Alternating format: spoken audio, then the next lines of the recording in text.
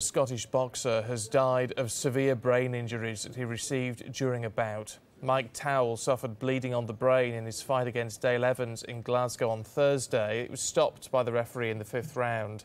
He was taken from the ring on a stretcher, taken to hospital, but he died late last night. Katie Spencer has got more details for us, and, and here we are again. And it's not overly often that we report about deaths related to boxing, but this is going to raise so many concerns again. It certainly does. Uh, I mean, the sad news was confirmed overnight by his management. He really was a, a rising star within the boxing community. Uh, the fight on Thursday that he was taking part in was an eliminator for the welterweight, British welterweight title.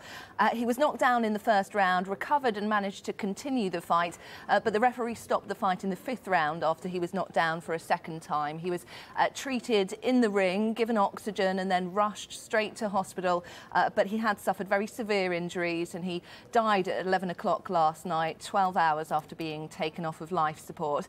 Uh, now, the boxing community has been paying tribute all morning. Uh, there have been a number of tweets from some leading stars within, within boxing. Former European champion Spencer Oliver, who himself suffered a brain injury which ended his career, wrote online, so saddened to hear of the devastating news that Mike Towell has passed away. My thoughts and prayers are with with his family and friends.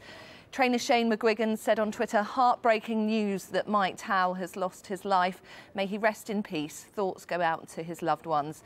And promoter Eddie Hearn said, absolutely devastated by the passing of Mike Towell. All our thoughts are with his friends and family at this time. Uh, this referee actually was also the man who was in charge of a fight which took place in March between Chris Eubank Jr. and Nick Blackwell, which you might remember hit the headlines because Blackwell ended up suffering a bleed on his skull, which put an end to his career.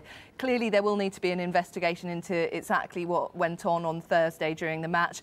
It has been a number of years, though, since we've had a death in this, uh, in this country as a result of boxing. 2013 was the last time when uh, Michael Norgrove, a boxer from London, ended up dying as a, a, as a result of the injuries that he suffered.